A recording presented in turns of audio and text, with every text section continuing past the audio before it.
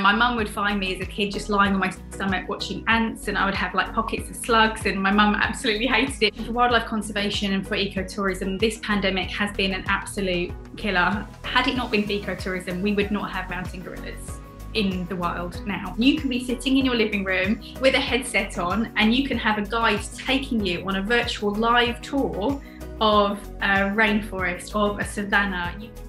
This is the Green on the Go podcast, where we talk about keeping travel sustainable. And for this episode, I got to speak to wildlife and ecotourism specialist Catherine Capon. So, hi, Catherine, welcome to the Green on the Go podcast. Hi, India. Thanks so much for having me. Looking forward oh, to ah. chatting it's so good to have you on honestly. I'm so excited to chat to you um because you come from a really really fascinating background. So so let's start with that. If you could tell us a little bit about yourself and your background um, within ecotourism.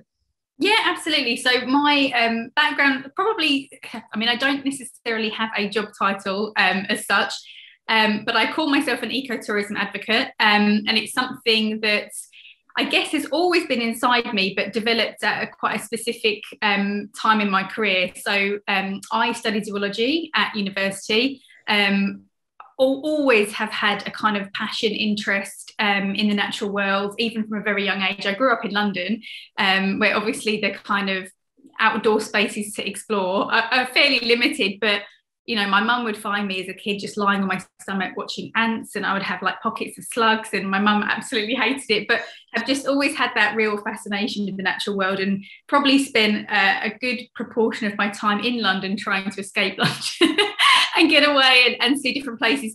Um, so yeah, I studied zoology um, at university, and then you know sitting in lecture theatres learning about these animals was was interesting but i really wanted to go see touch smell um, all of these things that i was learning about. So the opportunity came up um, at university to go and study bats in honduras in the cloud forests and just jumped at the chance. It was the first time that i had um, undergone an expedition of that kind where i uh, lived in the rainforest for three months, slept in a hammock, cooked my dinner every night on a fire that I started myself. It was very much like real Bear Grylls style um, living. And I guess it was that experience, which really was, I guess, the clincher for me in the fact that I just came back from that experience with a completely different perspective on how the, how important the natural world is, how threatened it is, um, how vulnerable it is and how I wanted to kind of dedicate my career and my time to saving places like that and also making sure that people have the opportunity to go and visit them before it's too late. So came back from that experience, wanted to communicate about these places, entered the world of um, uh, producing TV. So worked at the BBC straight after my last exam at university, worked at a couple of independent production companies um, at that point in time. And then obviously the social media world then kicked off and i realized that actually um, potentially social media is a better vessel than, than even broadcast television in some respects to get people passionate and excited about the natural world because rather than sitting there and watching a documentary and feeling impassioned and motivated about a cause but then maybe um, sort of making a cup of tea or making dinner and then kind of forgetting about it. If you're on social media, you can click a button and donate straight away. You can go and investigate how to travel to that place. And it's all on your phone, it's all on one device. Um, so then social media filmmaking and kind of content campaigns around ecotourism and conservation became became my passion and became my kind of um, place of, of work. So I've promoted ecotourism now in, in a multitude of different ways, whether that's broadcast TV, whether that's um, social media campaigning, whether that's taking people on expeditions to actually take them out there. Um, to some quite kind of hostile, um, to some people, feels like quite hostile um, places, um, and just showing them that, you know, actually it's accessible, it's doable, and just having those moments of pure awe when you're watching wildlife um, and just seeing the magic and the majesty that we have on this planet and, and bringing home hopefully ambassadors for, for our planet. Yeah, I, think that's really interesting that you were saying how you realized the, the, the positive power of social media to, to yeah. spread your message because I think social media can have a bit of a bad rep. And I know within tourism, it, it has done in, in recent years because you know you take a beautiful picture everybody wants to go to that place gets inundated with tourists.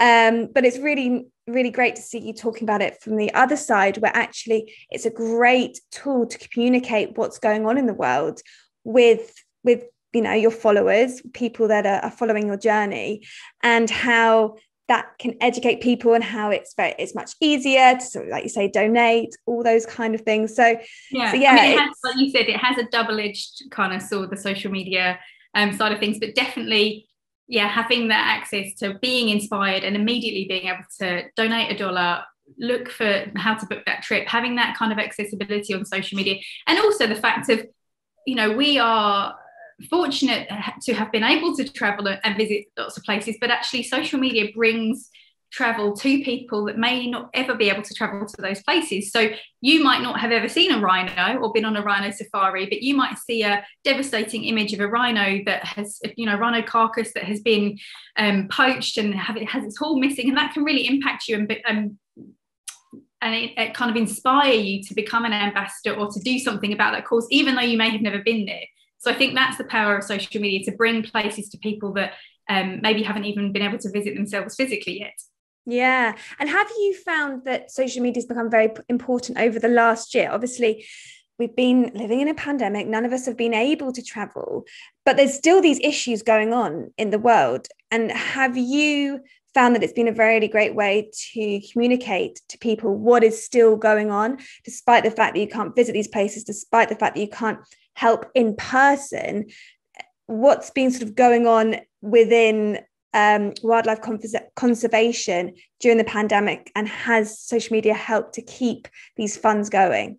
Yeah i mean the pandemic has been horrific for ecotourism and i guess we can we can maybe touch in more depth on that um, later on but yeah i mean it, for for conservation, for wildlife conservation, and for ecotourism, this pandemic has been an absolute killer. Um, but there have been some really great things that have come out, especially like you say on social media, where um, I work quite closely with a, um, a, conservationist in Borneo who works with sun bears, and he now does um, kind of weekly uh, speeches and tours and actually takes people around. He's managed, I don't know how he's managed to do it um, with the technology, but he's managed to be able to live stream from the rainforest of Borneo and actually do some really interesting and informative talks about the ecosystem, about sun bears, about the threats to sun bears. Um, so people have been had to be more ingenuitive, if you like, with technology and storytelling. Um, and also, like I said earlier, there's this there's this part of you know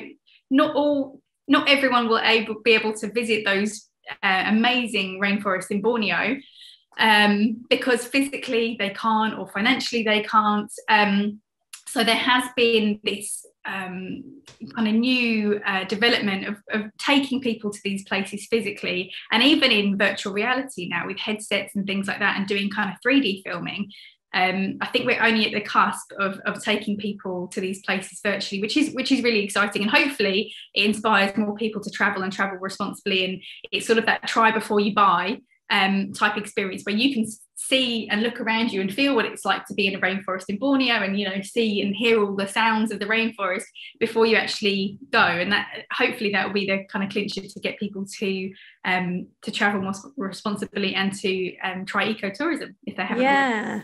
Absolutely. Now, and I know that pre COVID, you were running a project to encourage holidaymakers to visit wildlife hotspots during their vacations. Um, so, what, what was the importance of this? Why did you want to push this and say to people, if you're going on holiday, visit a wildlife hotspot? It's going to do X, Y, and Z. Yeah.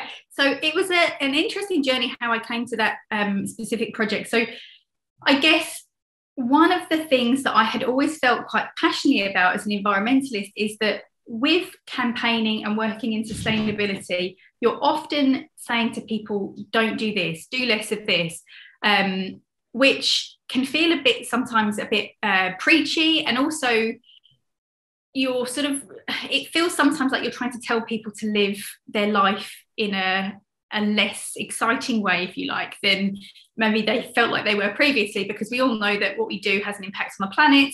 Um, and if you're always telling people to do less of something or stop doing something, it, it, it has a doesn't necessarily have a very positive um, impact. So, what I loved about ecotourism was the fact that people naturally feel very excited and passionate about travel anyway. People love their annual vacations, um, they love going on holiday, spend a huge wad of their annual salary on that travel.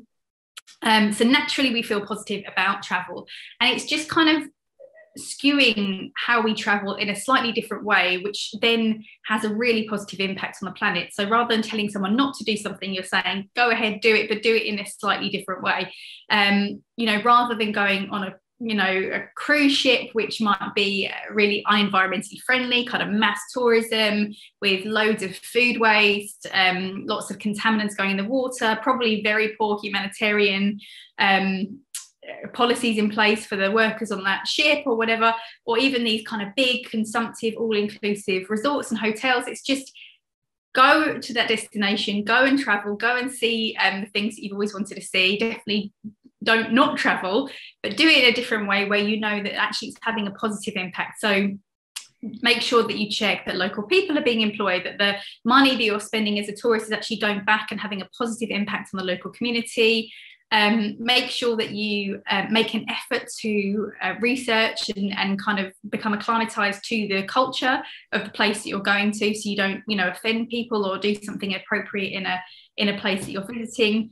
But also from the wildlife perspective i guess the biggest thing is that the money that you spend as a tourist um, helps to protect those species for the future. So you go to this country and you spend money and you um, are paying to go and see a gorilla in the wild, for example, or you're going to go on safari and see the big five. Those local people in that area are getting money, or hopefully, if it's done responsibly, they'll be receiving money from your trip and your travel. Um, Therefore, they realize hang on a minute, these species are really important to keep alive because people are coming to spend a lot of money to see them because they don't have them in their own country.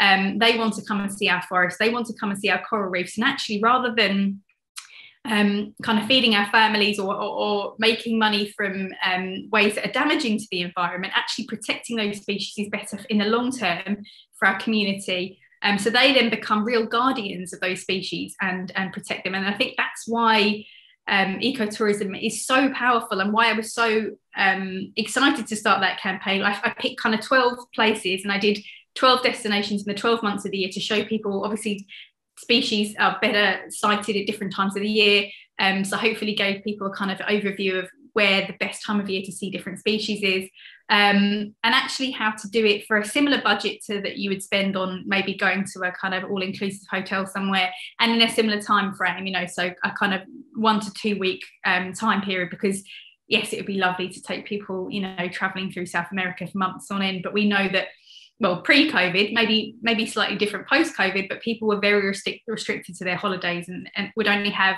a certain budget in a certain time so that was the kind of idea of the project. And it started off um, mainly writing articles for kind of travel press and, and travel publications, and then kind of picked up a bit of pace. So we started making some films. Um, yeah, and then from there it's, it's kind of escalated to, to speeches and like I said, taking people out to some of these places, obviously again pre-COVID. So um, it was a great project and um, yeah, I would love to get back to it as soon as, as, yeah. soon as I think that's you make such a fascinating point because sometimes you do hear the sort of school of thought that leave the wildlife alone, don't go looking at it, just let it be. You get on with your holiday, get let the wildlife get on with their lives. But which is true to, to an extent, but I think it's very interesting you make this point that these animals are worth more alive than dead because things like poaching is such an issue. And I know um, speaking to Vicky from Earth Changers, she was telling me that poaching became more of an issue during the pandemic because there was less rangers out there protecting the wildlife. Um, and obviously, the money wasn't coming in from tourists seeing these animals in the wild. So people were trying to make money, you know, killing them and poaching yeah, them. Yeah, yeah. Um, so it's it's it's evidence that what you're saying is so so true. But I guess what is the important the important part is don't just go and choose a tour guide that you just find a flyer for and you go yeah that'll do. You need to research that the tour that you go on so you make sure that it's a sustainable one and that you're going on one where they really have the animals welfare at the top of their list. Totally. And i think just ask ask questions before like if you're um, on a tour or you're about to start a tour ask all the questions that you would kind of want to know the right answers for. Like are you local? You know are you have you been brought up in this area? Are you being employed locally by the um, the ecotourism company that's that's employing you? Um, ask those questions because often you know and you, you'll kind of have that instinct of what feels right and feels appropriate. I mean we there's a very fine balance and you touched on it with regards to um, some places should be kept you know completely untouched when it comes to like the mountain gorillas for example in uganda they did ecotourism again pre-covid very very well and had it not been for ecotourism we would not have mountain gorillas in the wild now. Um, so ecotourism has saved the mountain gorillas. There are um, there are groups of gorillas in those mountains that no one goes near. Um, so there are areas where they don't take tourists into that are completely um, protected. Those gorillas live out their lives and probably never have um, much contact with, with human beings at all. Um, and that's that's great because those you know those areas those pockets are completely untouched they are habituated groups then that are used to having um, tourists come and see and obviously you get a one hour time slot to see those gorillas um, you have to have all the medical tests to check that you don't have any um, infectious diseases because obviously our DNA is incredibly close to those of gorillas. Um, you I, I, believe actually you didn't have to wear masks, but I believe from now on you'll have to wear masks when you go on the treks to see the gorillas. But those gorillas, those specific groups that are used to tourists, they have now seen tourists every day of their lives and they are used to them. We have very strong boundaries of how close you can get to them, etc. So in Uganda, ecotourism has been done incredibly well. However, now that we don't have um, ecotourism as it was pre-COVID, all of a sudden, like you just said, the money that normally would come in through tourists isn't paying those local guides. It's not paying the, the lodge cooks and the cleaners and all everyone else is employed by the ecotourism sector. So all of a sudden, those local people who depend on that money to feed their families um, have to start cutting down rainforest, do slash and burn agriculture, to start farming, to do subsistence farming, because that's the only other option they have available to them to feed their families. They're encroaching the gorillas' habitat. Some of them are going out to hunt um, endangered species because it's the only protein and meat, because all of a sudden they can't go and buy the protein and meat because they're not employed anymore. Um, so, all of these huge impacts, and actually, it'll be really interesting to see how gorilla ecotourism rolls out in the next kind of um, two to 10, I guess, years from this pandemic and how if we can recover. And I hope that we can. Yeah, I guess it's, it's, it's all about plowing the money back into the right places and hopefully, you know, we've got to keep our fingers crossed, but hopefully people are going to look at the way that they travel differently when travel does open up. But do you have any concerns uh, about people going back into travel, tra- you know, traveling and and holidaying and thinking that they're just going to go crazy because they haven't been able to do it for such a long time and the impact that this might have um, on wildlife conservation. So yeah, do you have any concerns with travel going going back to to the new normal? Yeah, I guess um, so obviously, I've just explained there why ecotourism is so great for wildlife conservation and how that type of travel is, is brilliant. And I hope that there's more of that in the future.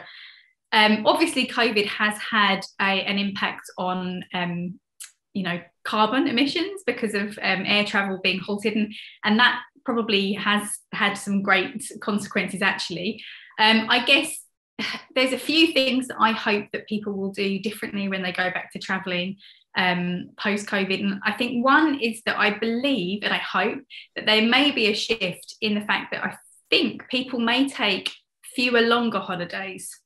And the reason being is that um, air travel will probably be more expensive as we as we get back into travel because obviously the airline companies are having to make up for the money that they've lost.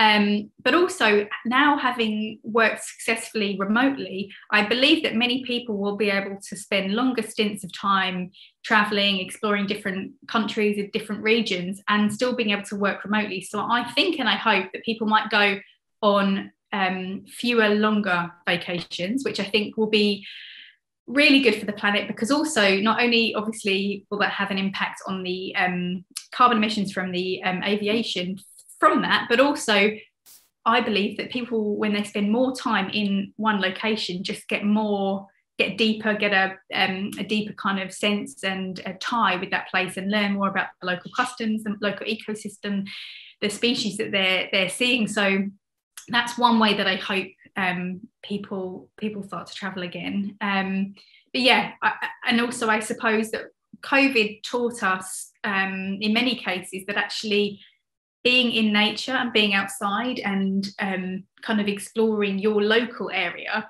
I think probably had a, a, positive impact on many people's lives. I know I, for one, you know, when we were in lockdown, spent a significant amount of time outdoors, either swimming or walking or hiking around um, the local area. And I mean, I personally have always had a, an affinity to being outside and, and nature, but I know that people that hadn't necessarily had that kind of discovered that during COVID.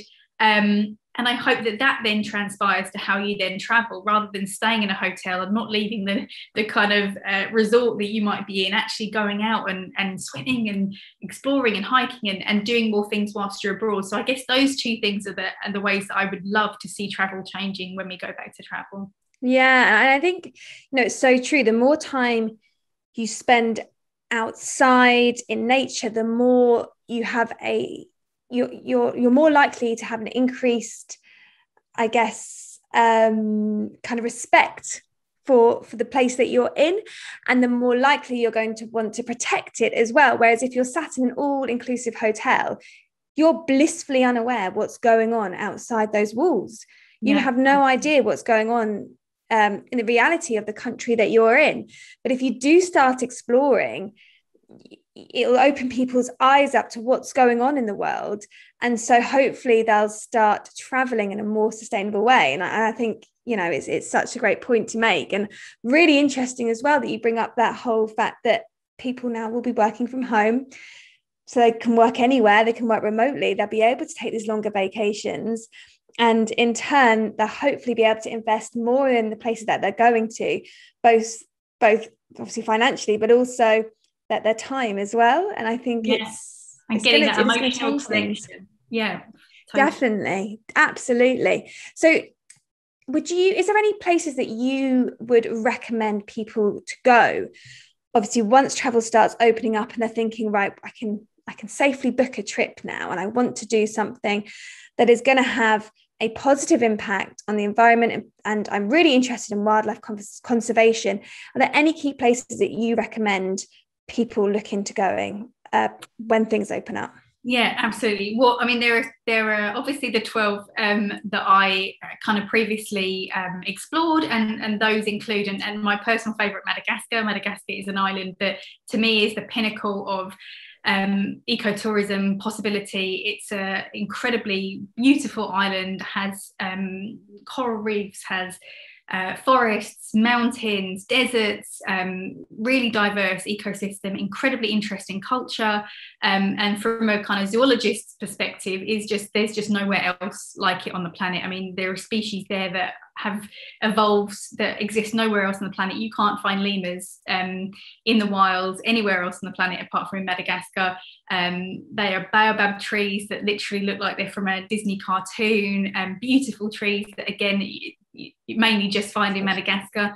Um, and pr- pristine, beautiful white beaches of the Indian Ocean, similar that you would get in the Seychelles or the Maldives. But people don't necessarily naturally um, think of Madagascar as a destination. And it's one that I always push and promote um, because there is such an opportunity there. Because again, when we were talking about how animals being worth more alive than dead, there are 113 different species of lemur in Madagascar right now, from the Indris, which are these beautiful, the biggest that are alive today, Um, beautiful species, black and white, lovely faces, kind of look like they're like the giant panda, if you like, of Madagascar, um, down to um, mouse lemurs who are you know the smallest primates that live on the planet absolutely tiny really hard to spot but when you do they're just glorious um, the diversity of, of lemur species there and, and not just lemurs but amphibians and um, and uh, reptiles that you get in Madagascar and bird life as well.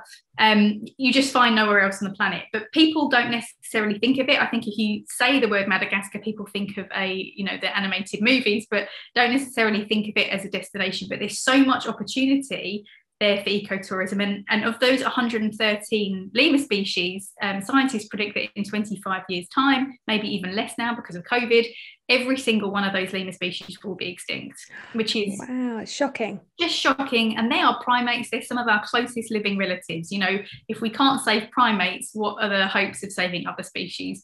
Um, but again, like we were saying, if people visit Madagascar, book these local guides as, as tours, all of a sudden, as tour guides, sorry, all of a sudden they won't be um, killing the lemurs to eat them. They won't be slash and burn, you know, cutting down the pristine um, primary rainforests for agriculture because that's the way they need to feed their families.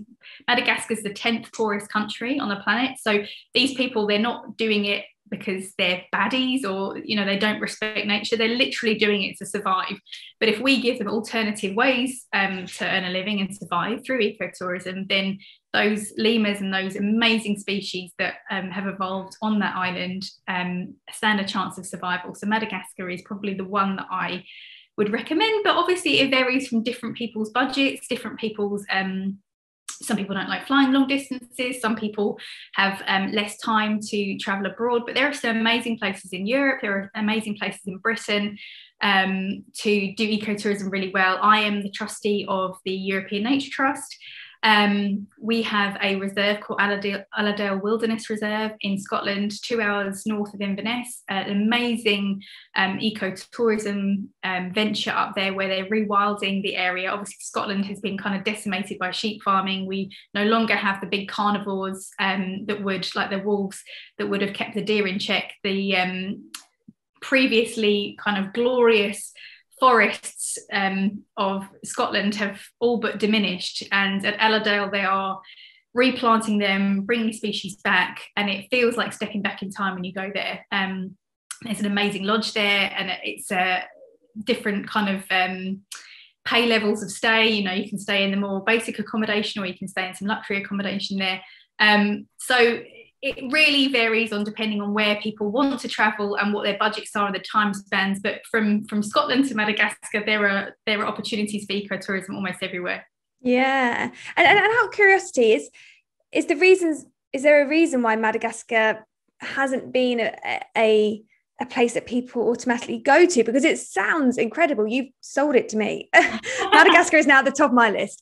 Um, so is it because it is so expensive to get there?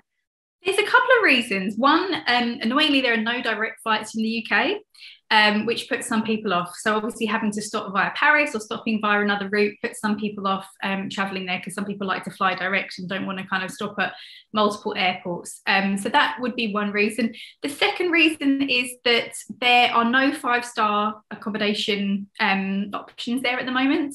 Um, the highest level is, is like a kind of four-star. And again, some people that are really seeking luxury or really wanting that kind of luxury or comfort travel don't currently have an option there. I hope that that changes um, in the years to come. But at the moment, it's definitely not terrible accommodation, but it is more basic than maybe you get in places like the Seychelles and the Maldives and the, the kind of um, other Indian Ocean destinations.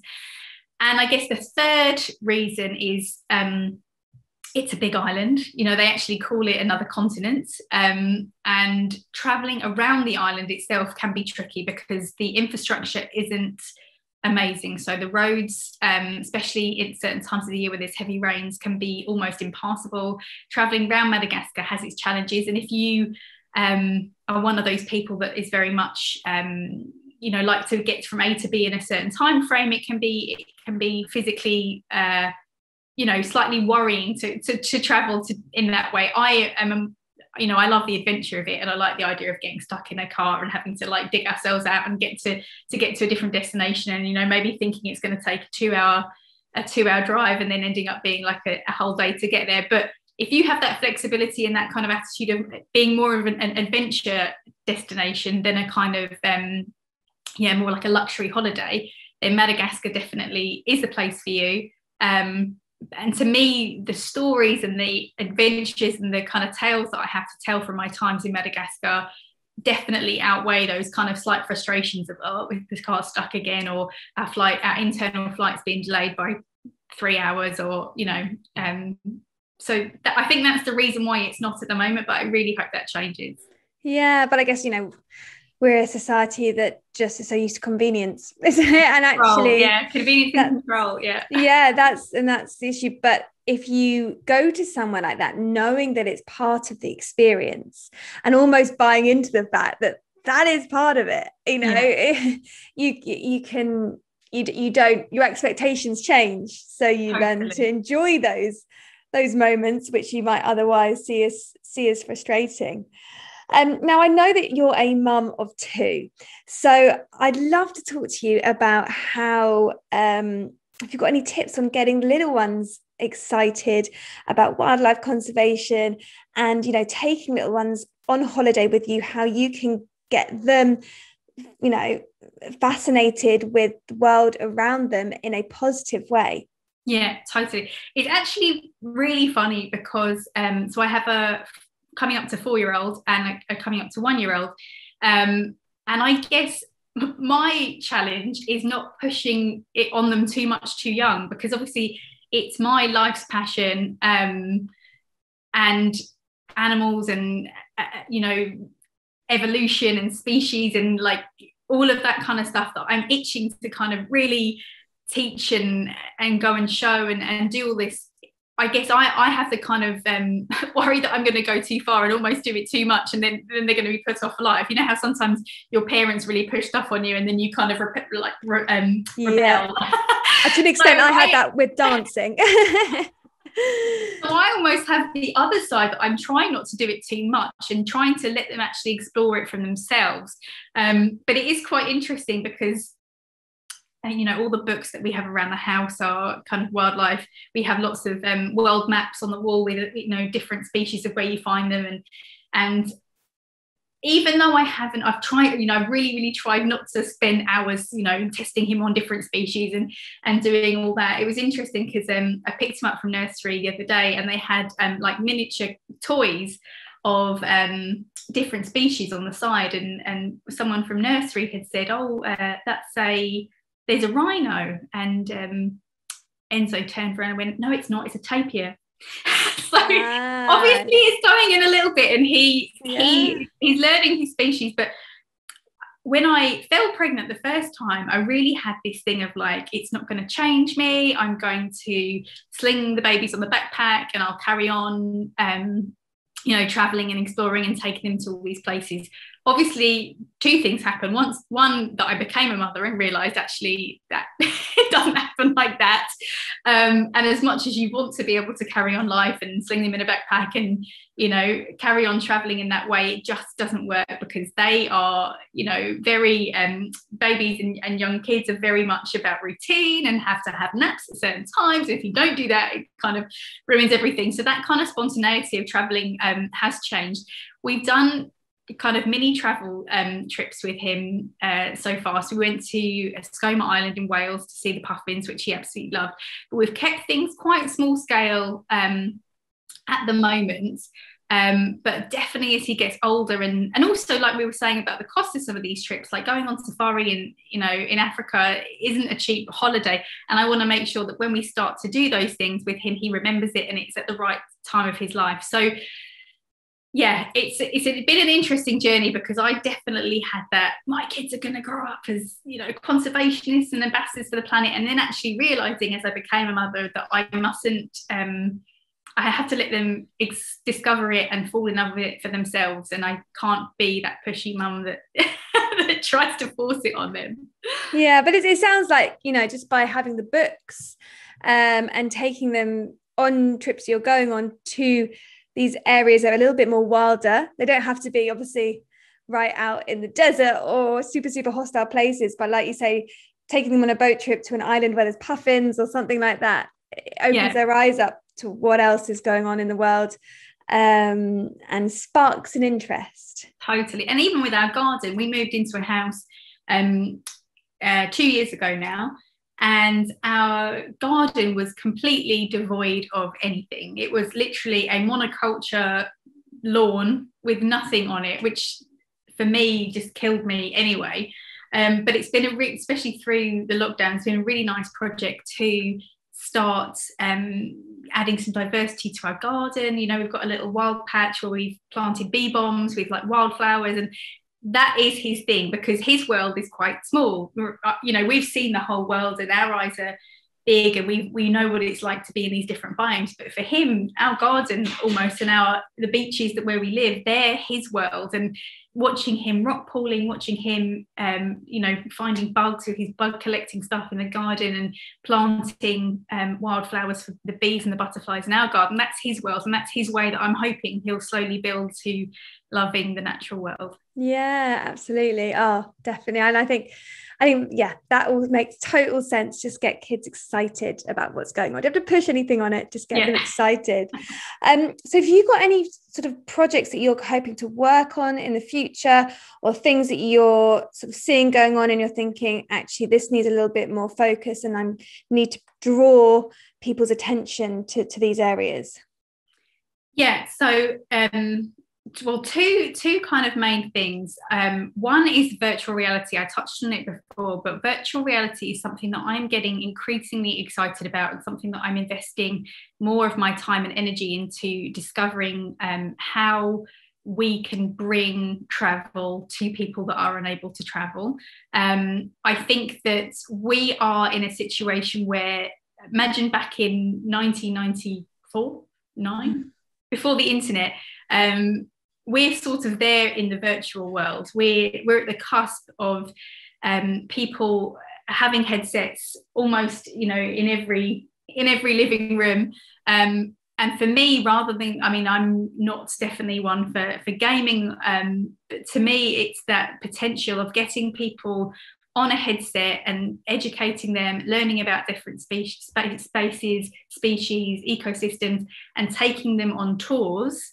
Um, and even with the technology now, there's the opportunity to have live guides, right? Which I think is so fascinating. You can be sitting in your living room in Folkestone um, with a headset on, and you can have a guide taking you on a virtual live tour of a rainforest, of a savanna. You can go on a virtual safari um, and learn about, yeah, the, the species and the ecosystem literally from your living room.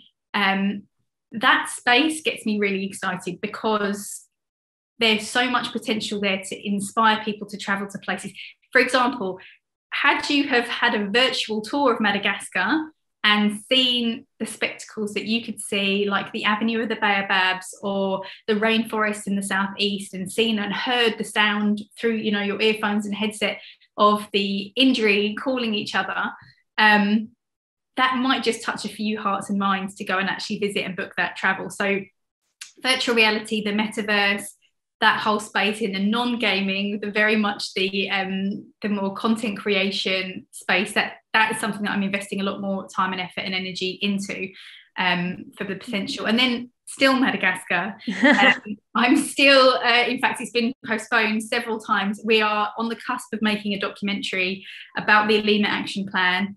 Um, which is the scientific document that was created by um, a very eminent primatologist, Russell Mittermeier, um, about how we can save the lemurs from extinction and how to raise the 10 million um, US dollars needed in order to save them. So we have been due to make a documentary on that that's been pushed back and back and back um, due to COVID. So hopefully, when travel restrictions lift, there will be the two things that I'll spend a bit more time on. Yeah, and that, and that virtual reality um uh, you know project that you're talking about it totally makes sense because I think the fear of the unknown is what stops people from booking some of these places that aren't necessarily you know on the tourist map or, or something but if if they can experience it first a little bit and almost have a little bit of hand holding first like you say it might encourage them to, to book and it's, it's it's a it's a really interesting um thing and you know obviously we're also used to talking on screens. We're, we're talking yeah. on a screen right now. So,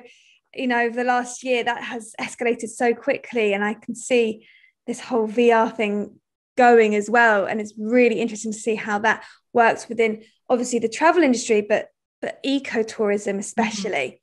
Yeah. And actually, one of the things, like you were saying about that kind of um, taking the kind of fear out of traveling to somewhere unknown, but also the fact that you can develop a relationship with the guide that you're going to have in the physical world before you even travel. You know, you might think, oh my God, landing into, um, you know, I'm going to land in uh, Uganda. I've never been to Africa before. I have heard sort of scary stories about traveling to Africa and blah blah. But actually, if you have had had a virtual reality tour with a guide and you've built a relationship and you've chatted to them and you've asked them questions about the gorillas and you all of a sudden become very much more relaxed and calm about the, the idea of traveling to somewhere unknown because you already know someone there. You've already built that relationship, and relationship building across the virtual reality space is something that I think is going to change people's travel. And, and I always am trying to overcome people's fear of traveling to unknown destinations because oftentimes you're going to have so much more exciting adventures experiences things that you'll be telling your grandkids and you know for years to come about those places that you felt a bit more nervous about traveling but it wasn't you know tenerife. Yeah they're the ones that come back with all the stories. I yeah. can totally vouch for that. And you know i think it is it's true. There's been times when i've gone to a little bit more remote places and I've wanted to book a local tour, sustainable tour, but because they're very local and it's not run by a big shiny company, I've been a bit scared about you know handing money over beforehand and booking beforehand thinking is this legit?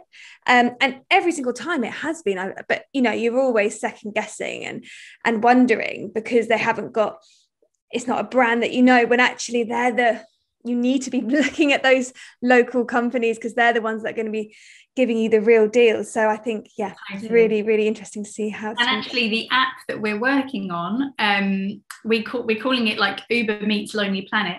And what we're aiming to do is that those guides will have a star rating. So the community will self regulate. So, for example, you were saying about being worried about handing over money or having a bad experience. They will then have one star regard versus someone who has you know done an amazing tour or very legitimate organization will have five stars. So that kind of self-regulation i mean many of the kind of big travel brands use that self-regulation but we're really hoping to um, bring that into the virtual reality world where yeah um, people will become much more confident because of the star rating. And also then the guides are you know compelled to do a better job uh, for the audience because they know that it's going to impact their their rating. So yeah. Yeah, absolutely such a great idea. Um, well, it's been amazing chatting to you. you. You have such an energy for what you do, such a passion, and it just shines through. Oh, um, so if people are interested to keep following what you're doing and find out more, where can they find you? Yeah, so I'd say probably first up Instagram. Um, so my handle is Catherine Capon um, or YouTube. I've got a YouTube channel which has got some of my older um, documentaries on there and kind of short form content, which hopefully will have some more coming coming soon. Um, but yeah, I'd say Instagram and, and YouTube would be the two places that um, if people want to find out more, get involved, or hopefully come on a trip one day.